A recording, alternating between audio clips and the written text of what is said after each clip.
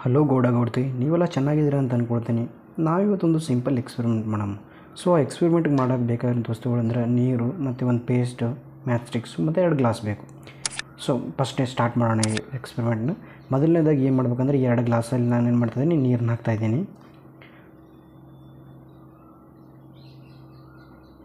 ಇವಾಗ ಏನಂತಂದರೆ ನನ್ನ ಹತ್ರ ಬೆಂಕಿ ಕಡ್ಡಿಗಳು ಅದಾವೆ, ಅಂದರೆ ಮ್ಯಾಚ್ ಸ್ಟಿಕ್ಸ್ ಇದಾವೆ. ಸೊ ಇಲ್ಲಿ ಏನು ಮಾಡ್ತೀನಿ ಅಂತಂದರೆ ಈ ಮ್ಯಾಚ್ ಸ್ಟಿಕ್ಸ್ಗೆ ಎರಡು ಗ್ಲಾಸ್ ಅದಾವೆ ಸೊ ಎರಡು ಗ್ಲಾಸಲ್ಲಿ ಒಂದು ಕಡೆ ಏನು ಮಾಡ್ತೀನಿ, ಇದು ಪೇಸ್ಟ್ ಐತಲ್ಲ ಪೇಸ್ಟ್ ಅಂಟಿಸಿ ಹಾಕ್ತೀನಿ.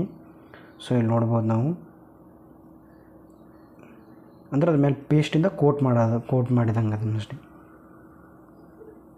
ಸೊ ಇದು ತುಂಬ ಸಿಂಪಲ್ ಆದ ಎಕ್ಸ್ಪೆರಿಮೆಂಟ್ ಇದನ್ನೆಲ್ಲ ನಾವು ಮನೇಲಿ ಮಾಡ್ಬೋದು. ಮತ್ತು ನಾನು ಹೇಳ್ತೀನಿ ಇದು ರೀಸನ್ ಏನಕ್ಕೆ ಇದರಿಂದ ಏನು ಉಪಯೋಗ ಅಂದರೆ ಇದು ಹೆಂಗೆ ವರ್ಕ್ ಆಗುತ್ತಾ ಅಂತೇಳಿ. ಸೊ ಇಲ್ಲೊಂದು ಮೂರರಿಂದ ಒಂದು ಮೂರು ಕಡ್ಡಿ ತೊಗೊಂಡು ಏನು ಮಾಡೋಣ, ಅದಕ್ಕೆ ಪೇಸ್ಟ್ ಹಚ್ಚೋಣ. ಅದಕ್ಕಂದ್ರೆ ಮ್ಯಾಗ ಕೋಟ್ ಮಾಡೋಣ. ಕೋಟ್ ಮಾಡಿ ಇಲ್ಲಿ ನಾನು ನೀರಲ್ಲಿ ಹಾಕ್ತಾಯಿದ್ದೀನಿ ನೋಡ್ಬೋದು ನೀವು ಇಲ್ಲಿ. ಸೊ ಇವಾಗ ಇನ್ನೊಂದು ಮಾಡೋಣ ಅಂದರೆ ಇನ್ನೊಂದು ಮೂರು ಕಡ್ಡಿನ ತೊಗೊಂಡು ಈ ಸಾಧಾರಣ ನೀರಲ್ಲಿ ಅದನ್ನು ಹಾಕ್ಬಿಡೋಣ. ಅಂದರೆ ಅದನ್ನು ಅದ್ದಿ ಬಿಡೋಣ ಅದ್ರೊಳಗಡೆ.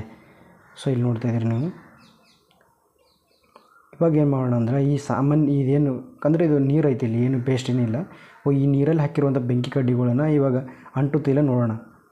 ಸೊ ಇಲ್ಲಿ ನೋಡ್ಬೋದು ಈಸಿಯಾಗಿ ನೆಕ್ಸ್ಟ್ ಕೊರತಾ ಇದ್ದೀನಿ ಅಂದರೆ ಮೂರರಿಂದ ನಾಲ್ಕು ಸಾರಿ ಪ್ರೆಶ್ ಮಾಡಿದ್ರೂ ಅದು ಏನು ಅಂಟ್ತಾ ಇಲ್ಲ. ಬೆಂಕಿ ಅಂದರೆ ಹಚ್ಕೊ ಹತ್ತಾ ಇಲ್ಲ ಅದು ಒಟ್ಟ ನೋಡ್ಬೋದು ಈಸಿಯಾಗಿ ಇಲ್ಲಿ ಇನ್ನೊಂದು ಟ್ರೈ ಮಾಡೋಣ. ಸೊ ಬಟ್ಟೆ ಕೊರಿಸ್ತಾ ಇದ್ದೀನಿ ಅಂದರೆ ತೇವಾಗಿರುತ್ತಲ್ಲ, ಅದನ್ನು ಅದಕ್ಕೆ ಅದನ್ನು ತೆಗಿಯೋಕೆ ಡ್ರೈ ಡ್ರೈ ಮಾಡೋಕ್ಕೋಸ್ಕರ. ಸೊ ಇನ್ನೂ ಒಂದು ಟ್ರೈ ಮಾಡೋಣ.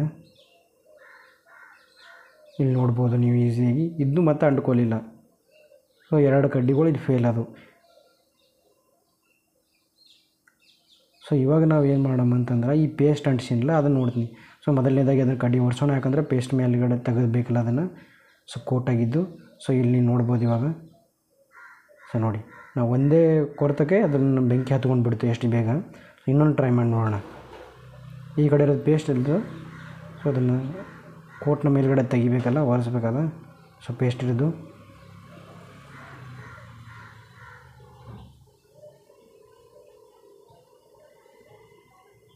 ಸೊ ಎರಡನೇ ಕಡ್ಡಿನೂ ಅಂಟ್ಕೊಳ್ತು. ಬಟ್ ಅದರಲ್ಲಿ ಎರಡು ಕಡ್ಡಿನೂ ಅಂಟ್ಕೊಳ್ಳಿಲ್ಲ ಬಟ್ ಇಲ್ಲಿ ನೋಡಿ ಎಷ್ಟು ಬೇಗ ಉರಿ ಹಚ್ಚಿಬಿಡ್ತು ಇದಕ್ಕೆ. ಇದಕ್ಕೆ ಕಾರಣ ಏನಂತ ತಿಳಿಯೋಣ.